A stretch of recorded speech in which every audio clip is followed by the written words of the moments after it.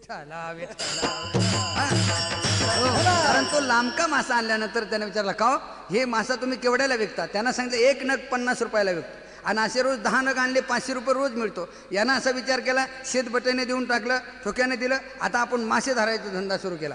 मग त्यानं मासे धरणारा बरोबर जायचा. योग असा ज्याच्याबरोबर मासे धरायला जायचं त्याला मोठ्याले मासे सापडायचे याला करंगळी होणी तो मला क्या करू यार खेत में गाय तो लांगा लुंगा आणि मच्छी पकडली की झांगा झुंगा आप करणार तो बी क्या? अहो धंदा बदलला म्हणजे नशीब बदललं नाही योगा योगानं गावात नाम सप्ताह चालू होता। तिथं एक मोठी कीर्तनकार आले.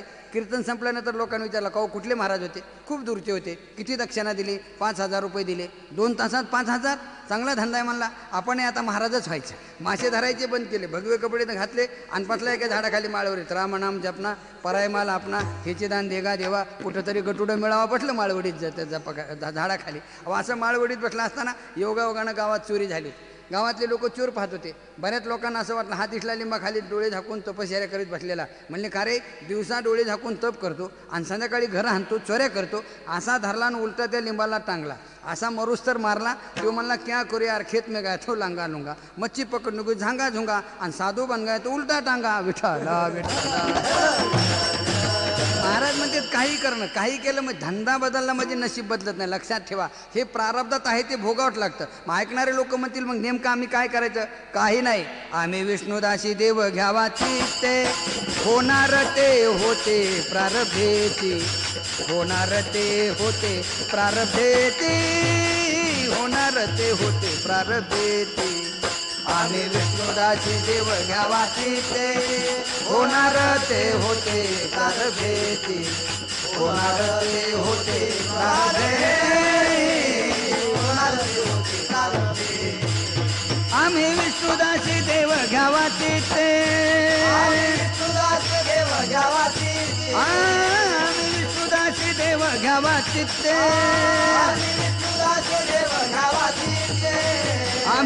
विष्णुदासी देव घ्यावा चित्ते. होणार ते होते प्रारभेती होणार ते होते प्रारभेती होणार ते होते प्रारभेती आम्ही विष्णुदासी देव घ्यावा चित्ते. होणार ते होते प्रारभेती होणार ते होते प्रारभेची.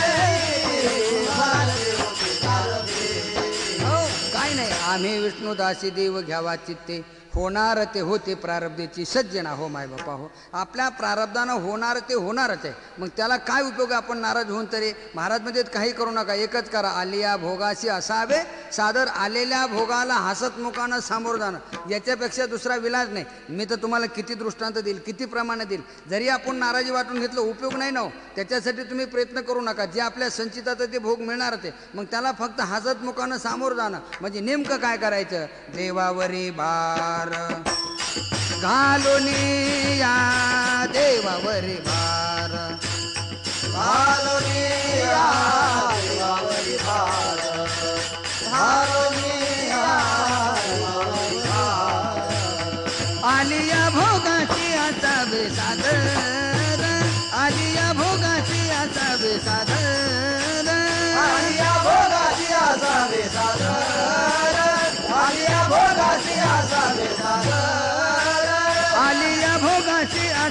साधन आलिया भोगाची असावे साधन आलिया भोगाची असावे साधन आलिया भोगाची असावे साधन देवावरी भार घालो निया देवावरी भार घालो निया देवावरी भार घालो निया मग तो कृपा सिंधू निवारी साखणे भगतो कृपा सिंधू निवारी साखण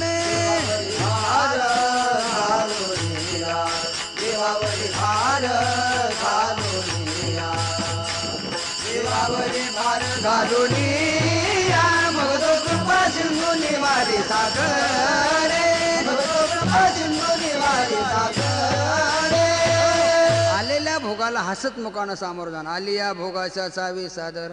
देवावरे भार घालून या. सज्जना हो मायबापा हो आलेल्या भोगाला हसत मुखानं सामोर जाणं. सामोर जाणं म्हणजे सर्व देवावरे भार घालून या. सर्वस्व भार देवावर टाकायचं. भार देवावर टाकायचा म्हणजे वाच्या अर्थानं विचार करू नका.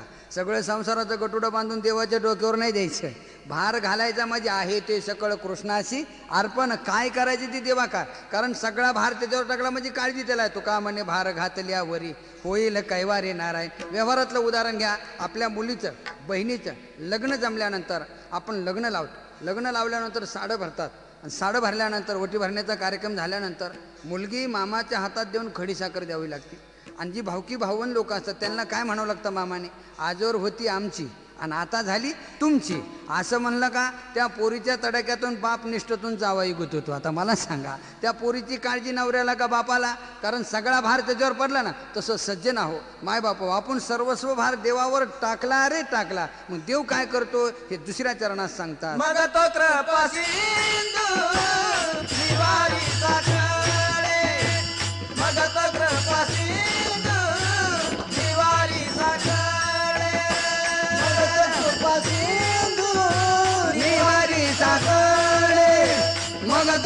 Roger.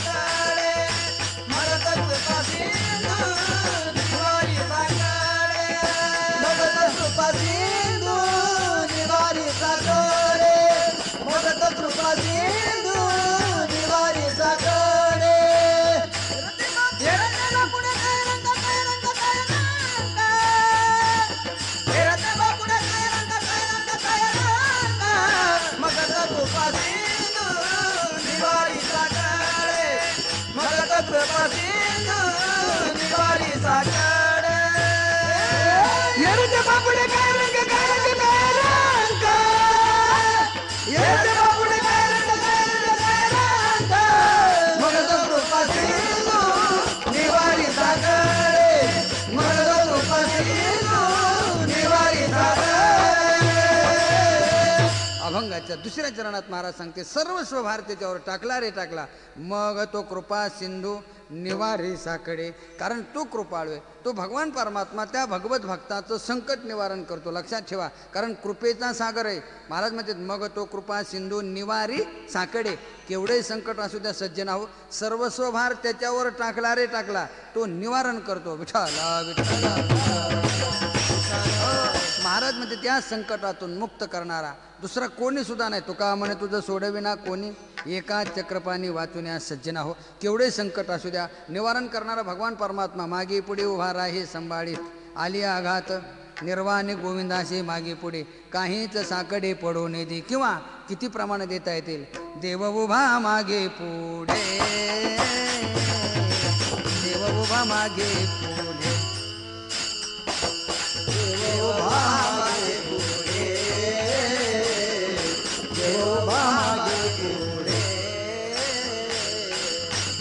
उभा मागे पुढे. देव उभा मागे पुढे. देव उभा मागे पुढे. देव उभा मागे पुढे. उगवी कोडे संकट. देव उभा मागे पुढे. देव उभा मागे पुढे.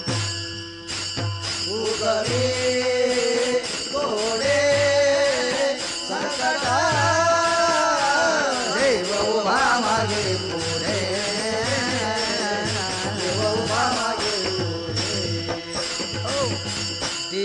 मागे पुढे उगवे कोडे संकट सज्जना हो माय बापा हो. आपण सर्वस्व भार त्याच्यावर टाकला रे टाकला मग तो कृपा सिंधू निवारी साकडे मग तो त्या भगवत भक्ताचं संकट निवारण करतो. काही लोक म्हणले तुकाराम महाराज आम्ही देवाची शरणांगती न करता आमच्याकडे भरपूर सोयरेधारे श्रीमंत आहेत. आई वडील बहीण भाऊ हे आमची माणसं इतके आमच्यावर प्रेम करतात. मग आम्हाला हे संकटातून सोडवणार नाहीत. महाराजांनी सांगितलं खोळ्या देवाला सोडल्यानंतर बाकीचे येरते बापुडे काय रंग? हो, अरे ये रे बापुडेत मरकेत रंक आहेत. हे कधी सोडवणार नाहीत. लक्षात ठेवा. आपली चुकीची कल्पना आहे. जर कोणाला वाटत असेल की आमचे बहीण भाऊ आई वडील हे सगळे सोडवतील हे डोक्यातून काढून टाका. अजिबात कोणी सोडवणार नाहीत. महाराज म्हणते अहो सोडविना बंधू पाटचे बहीण शेजेची कामे न दूर राही कोणी असू द्या हो कोणी हे सगळे मतलबाचा बात आज लोकांना पटत नाही हो. किती सांगू द्या महाराज लोकांनी हात जोडून पाया पडून ते म्हणतात महाराज तुम्हाला कोणी सोडित नसेल आमचं तुम्हाला काय सांगावं? तुमचं काही सांगू नका तुमच्यावर कुणाचंच प्रेम नाही. हे सगळे तुमच्या पुढं पुढं करते त्याचं कारण तुम्हाला असं वाटतं आमचं खूप वजन आहे. वजन तुमचं नाही. हे सगळे पुढं पुढं त्या करतात त्याचं कारण धनवंता लागी. सर्व मान्यता हे जगी माता पिता बंधू जन सर्व मानिती वचन सज्जना हो हे सगळं आपल्याला मानतात ते आपल्या जवळच्या पैशाला मानतात. बाकी कोणीच कोणावर प्रेम करत नाही. असं जरी वाटत असेल कोणाला आमच्यावर खूप प्रेम आहे. एक लक्षात ठेवा आमचे कबीर महाराज सांगतात हे कोणी सोडवणार नाहीत तुमची दयामाया करणार नाहीत. ज्याची तुझं गुंतीन ते तुझं मोकलीती हे आपल्यावर जे प्रेम करतात त्याचं कारण असं आहे सब पैसे के भाई दिल का साथी नाही. सज्जना हो सगळे पैशावर प्रेम करतात. आपल्यावर कोणी सुद्धा प्रेम करत असं बऱ्याच लोकांना सांगितल्यावर पटत नाही. ते म्हणते इंगळे महाराज तसं नाही हो. मी जरा सगळ्याची माफी मागून आधुनिक काळातली गोष्ट सांगतो. कुणीच कोणावर प्रेम करत नाही. हे सगळं प्रेम पैशावर आहे. कोणाला वाटतं आमच्यावर पण महाराज म्हणतात नाही नाही सब पैसे की भाई. आधुनिक काळातली गोष्ट सांगायलो माफी मागू एवढी खालच्या दर्जाची नाही पण वस्तुस्थिती सांगायला तुम्हाला. एक मित्र मित्राकडे गेला. तुम्हाला खरे रंभो उद्या सोमवारी कोर्टामध्ये ये. एका मुलीचं माझं रजिस्टर मॅरेज आहे. आणि लग्न होणार तर दोघाचंच होणार नाही तर आम्ही आत्महत्या करणार. खूप आतूट प्रेम आहे आमचं. तो म्हणला सोमवारी काय येता येत नाही पण मंगळवारी घरी येईल. हा मित्र मंगळवारी घरी गेला. मित्राला म्हणतो खरे रे? कुठे आमच्या भाभी? ते मला नाही जमलं ते बिघडलं कालच. मला का रे बिघडलं? खूप प्रेम होतं. ते मला कोर्टाच्या जवळजवळ गेल्यानंतर त्या मुलीनं मला विचारलं की बँकेत तुमच्यापाशी किती पैसे आहेत? तिला सांगितलं मी एक रुपयासुद्धा नाही. पैसे नाहीत म्हणले की तिथूनच माघारी आली म्हणला. तो म्हणला मग कुठं गेलं प्रेम? दुसरा म्हणला काय मूर्ख आहे रे? एवढ्यासाठी कुठं लग्न मोडीत असते अरे माझंसुद्धा असंच झालं होतं. माझं आणि एका मुलीचं लग्न करायचं ठरलं. कोर्टाजवळ गेलो. तिने मला हेच विचारलं तुमच्यापाशी किती पैसे? तिला सांगितलं एक रुपयासुद्धा नाही पण माझ्या चुलत्याच्या नावानं बँकेत दोन लाख रुपये आणि ते आपल्यालाच होणार आहेत. तसं म्हणलं की मला तिनं चुलत्यासंगत लग्न लावलं आणि मी आलो माघारी तिथून आता मला सांगा प्रेम तुमच्यावर आहे का पैशावर आहे? विठाला विठाला अरे, कुणीच कुणावर मानित नाही. लक्षात ठेवा मायबाप हो. हे सगळं सगळं खोटे अहो मी तुम्हाला सांगू का?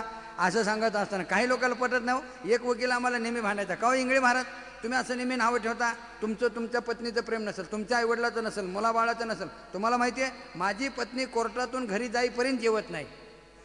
म्हणलं वकील साहेब विनाकारण आम्हाला त्रास देऊ नका. अगोदर तुमच्या घरची वस्तुस्थिती पहा मग आमच्याकडे. अहो खरंच हो पाच वाजेपर्यंत आमची पत्नी जेवत नाही. कारण ही काय करायची? पाच वाजायच्या वेळेला दारात बसायची. आणि पांघरून घेऊन तुम्ही फार वेळ करता हो. मला फार भूक लागते हो. तुम्ही लवकर येत जा हो. तो म्हणायचा माझ्या अगोदर तू जेवत जा ना. आणि तुम्हाला सोडून कसं जेवू हो? तू तू याला असं वाटायचं किती प्रेम करते पत्नी. आणि महाराज काहीतरी सांगतात. एक दिवशी त्यानं विचार केला. महाराजाचं खरं का पत्नीचं खरं बघतो. बायकोला म्हणला आज बोर्डवर मुकादम आलेला आहे. आज मला लवकर येताना नाही. तू जेवून घे. तिनं सांगितलं नाही हो. तुम्ही लवकर येत जा हो. तुम्हाला अगं जेवण तू तुम्हाला सोडून कसं जेवू हो? तो म्हणला बरं येतो लवकर. असं म्हणला. आणि दुसऱ्या गल्लीतून वर चढला आणि माडीवर जाऊन बसला. बघा हो, पत्नी आपली खरंच उपवासी राहते का का? सज्जना हो त्यानं काहीच विचार केला नाही. लागली तिला माहिती हे पाच वाजल्याशिवाय काही घरी येत नाही. लागली तिने गॅस पेटवला पातेलं ठेवलं आणि एक अर्धा किलो तांदूळ शिजवायला टाकले. अर्धा किलो तांदळाचा भात एकलीनं खाल्ला. हा माडीहून बघतोय. काय निराहार राहते म्हणला. खरं त्या इंगळे महाराजाचंच खरं आहे तेवढ्यामध्ये एक रस्त्यानं माणूस चालवता पेढे पेढे पेढे. कुठले पेढे आहेत? म्हणजे सरमकोंडे फाट्यावरले. कसे दिलेत? म्हणले वीस रुपये पाव किलो. म्हणले दे पाव किलो. ते पाव किलो पेढेसुद्धा खाल्ले. याला तर वाटलं कधी पाच वाजतात आणि कधी खाली उतरतो. काय उपवासी राहते म्हणला. तेवढ्यामध्ये काय झालं? जुन्या काळात आपल्या लहानपणी कारखाने नव्हते. साखरेचे कारखाने. मग बैलगाडीमध्ये ऊस विकायला आले होते. दाराच्या समोर असे ऊस उभे केले होते. तिथे गेले म्हणते कशी दिलेत मामा ऊस? म्हणले रुपयाचे चार. म्हणले ती चार. ती चार ऊससुद्धा खाल्ले. पाच वाजूस तर बळच दम काढला ना माडीवर. खाली उतरला आणि ठरलेल्या रस्त्यानं आला. हे आपली अशी पांघरून घेऊन बसलेली. तुम्ही फार वेळ करता हो. मला फार भूक लागते हो. तुम्ही लवकर येत जाओ. सरंग मला बाजूला. फार वेळ करताना फार भूक लागते. तिला असं वाटलं कोर्टातला मुकादमा यांच्या विरोधात गेला असा होता. विरोधातच नाही तर काय गोडीत गेला होता होय. अहो सगळं विरोधातच झालेलं ना तेवढं करून सुद्धा पाणी घेतलं. ते म्हणते घ्या ना पाणी. मला नको पाणी. ते म्हणते का हो? कशी काय? कचेरीची मात. म्हणला तांदळाचा अर्धा किलो भात. म्हणली बघ बाय असे का वाडे वेडे? म्हणला पाव किलो पेडे म्हणली माय उगच उगच धासपूस म्हणला रुपयाची चार ऊस ती म्हणली पण हे तुम्हाला कसं कळलं? तो मला पण मला टाकून तुला कसं गिळलं? विठाला मला त्यावेळेला कळालं की कुणीच कुणाचं नाही. महाराज म्हणले खुड्या अरे बाकी कोण हे? कोणी सोडवणारे नाहीत. महाराज सांगतात किती प्रमाणात येतात अंतकाळी कोणी नाही बा संगाती साधूचे संगती हारे जोडी सज्जन आहो माय बापा हो हे आपल्याला कुणीसुद्धा सोडवणारे नाहीत. म्हणून करताना अहो असं सांगितल्यानंतर हे आज कळत नाही. कळतं पण कधी कळतं पुन्हा वेळ निघून गेल्यानंतर. महाराज सांगतात कळो येईल अंतकाळी प्राण प्रायानाचे वेळी. कळो येईल आ,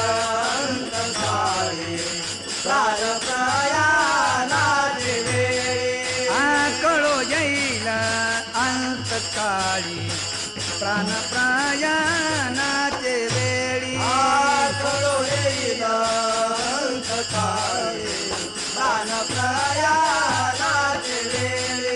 हे राहती रांडा पोरे सकळ.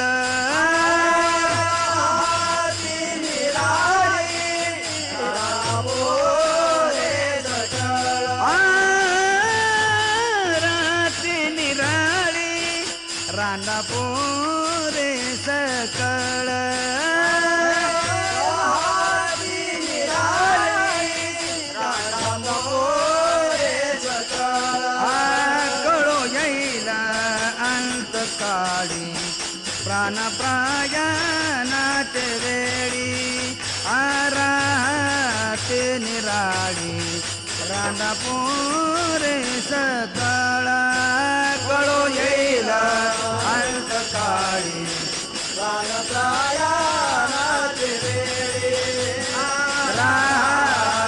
निराळी.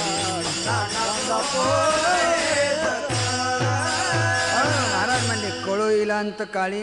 प्राण प्रयाणाचे वेळी राहते निराळी रांडापुरी सकळ सज्जन आहो. हे तुम्हाला त्यावेळेला कळणार आपल्याला कोणी सोडवणार नाहीत. म्हणून सज्जन आहो. मायबापा हो, जगद्गुरु तुकाराम महाराज म्हणतात तो भगवान परमात्मा त्याच्यावर सर्वस्व भार टाकणारे टाकला. मग तो कृपा सिंधू निवारी साकडे येरते बापुडे काय रंक. सज्जन आहो. असं सांगितल्यानंतर तो साधं घाबरला महाराज ही मी ज्यांच्यावर विश्वासून पटलो होतो आई वडील सोयरे धायरे बायको पोरं हे मला सोडवणार नाहीत. आणि मग आता मी नेमकं काय करायचं? महाराज म्हणले काळजी करू नको भेऊ नको. तू जर काळजी केली भीती बाळगली तर तुला दुःख भोगावं लागेल. त्याच्यापेक्षा एक सोपा उपाय सांगतो ते तिसऱ्या चरणामध्ये.